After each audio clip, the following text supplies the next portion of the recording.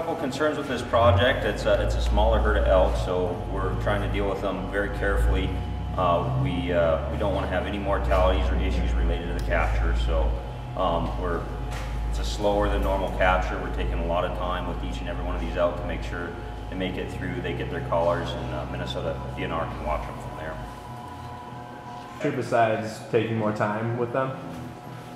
Well, part of it is it's a very small herd. It's a very delicate herd, so the population is not, you know, we, we don't have a lot of animals to draw off of. So we're trying to uh, be real careful with overrunning the herd.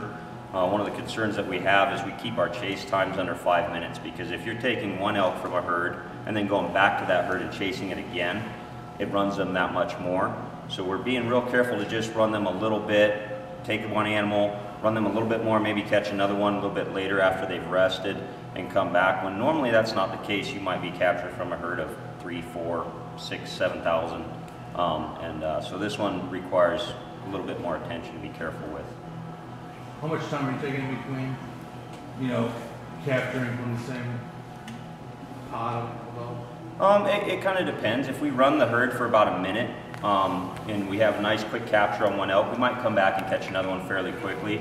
Uh, if they've run a lot or we had to work them uh, a bit more, then uh, we'll give them a lot of time or we might not go back to them at all. How much is a lot of time?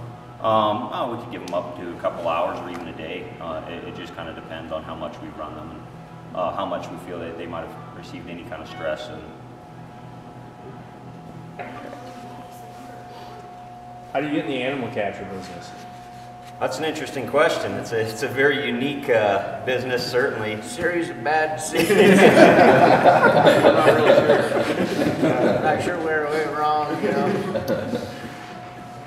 Yeah, it's a, it's a very small niche industry, absolutely, and there's not very many people who do it out there, especially people who specialize in it. So uh, I, I've grown up flying around wildlife pretty much most of my life, and it's kind of related to what I do pretty much. And um, Samantha's grown up around biology and horses as well, so we kind of gotten into it because uh, it's what we enjoy, and uh, we're both pilots and kind of fit into what we do pretty much.